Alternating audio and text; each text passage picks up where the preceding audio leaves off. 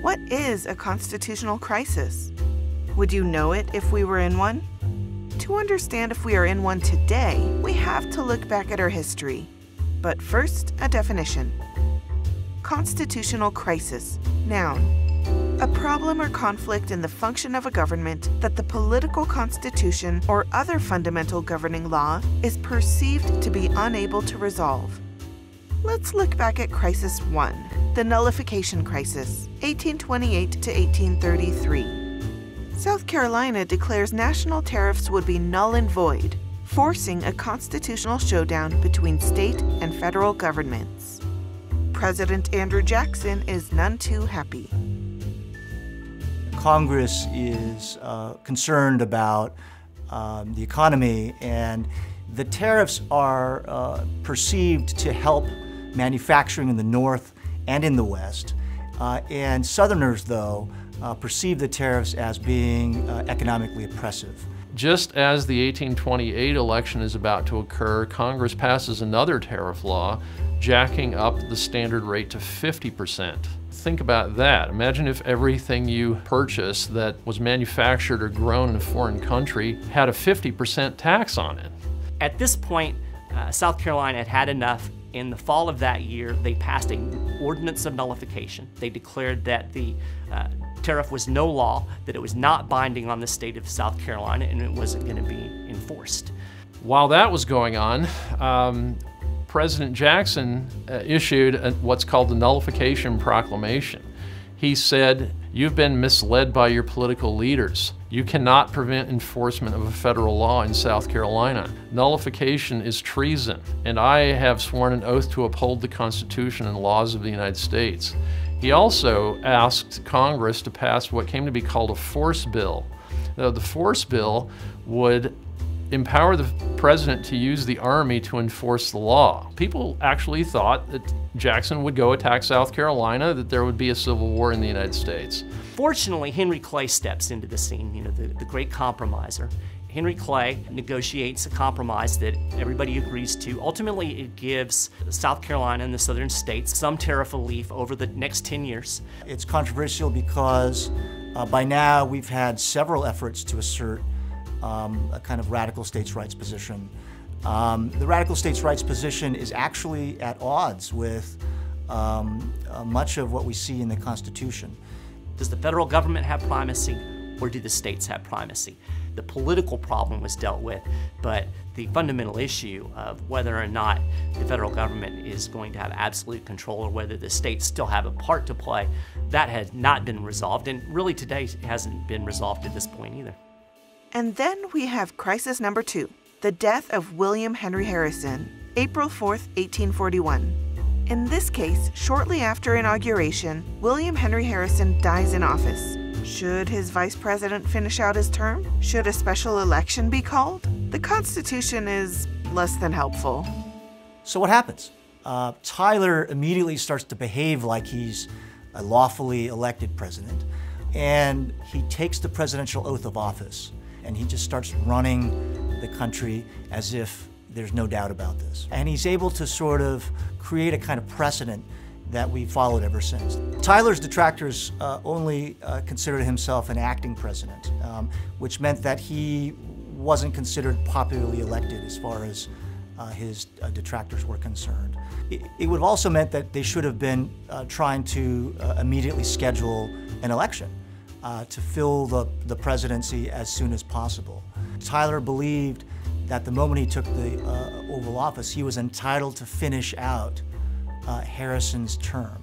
Ultimately, there's too much of a, a temptation to basically just seize power, and whoever has the political clout at the moment is going to be able to do that. And we see this all the time.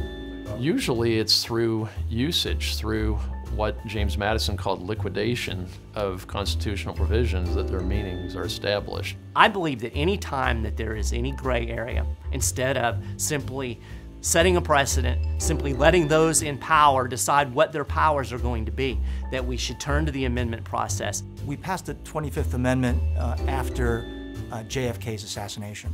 By then, we've also had a kind of set of lingering concerns. For example, what if the president becomes uh, mentally ill. A number of these concerns um, started to uh, become raised, and so the 25th Amendment was enacted to clarify that the vice president would always be the one to assume power if the president either dies or is somehow incapacitated.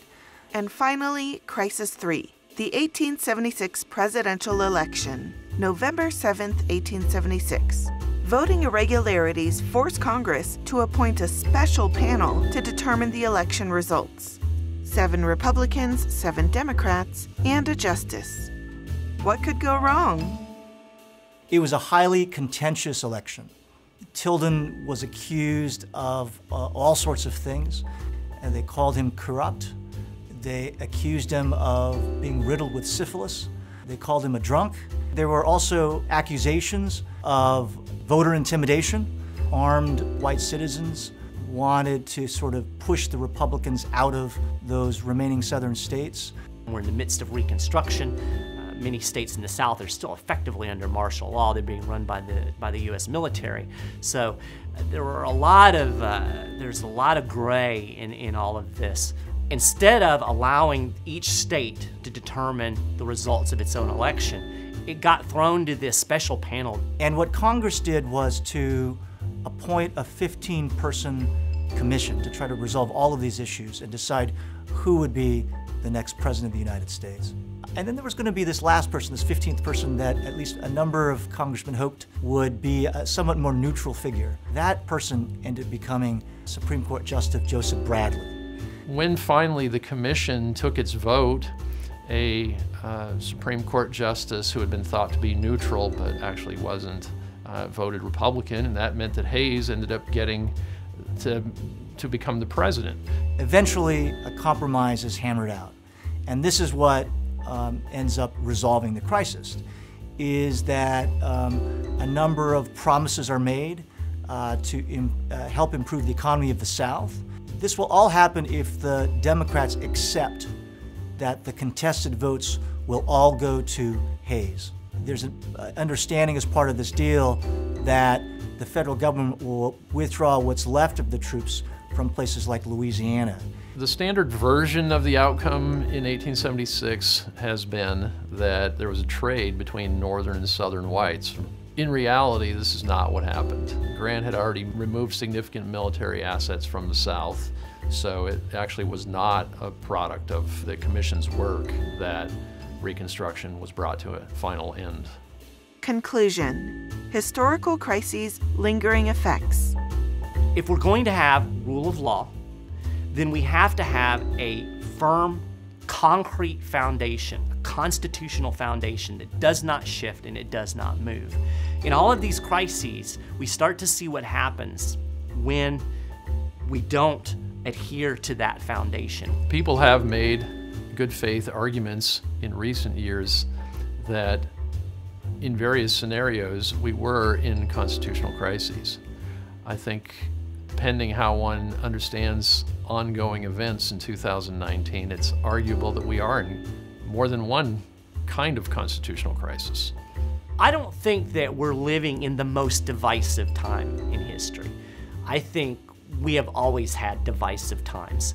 The more you try to centralize, the more that divisiveness is going to be exacerbated. Uh, when we can decentralize, it's easier to get along and live together. Anyone who uh, watches uh, uh, this documentary or thinks hard about these episodes uh, will hopefully come away with the sense that uh, constitutional principles aren't uh, self-executing, uh, they're not self-evident, even though we like saying that they are.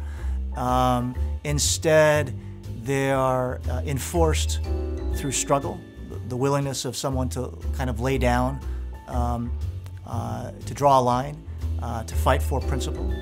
We can only know the content of a principle uh, through this struggle and how people react to it afterward.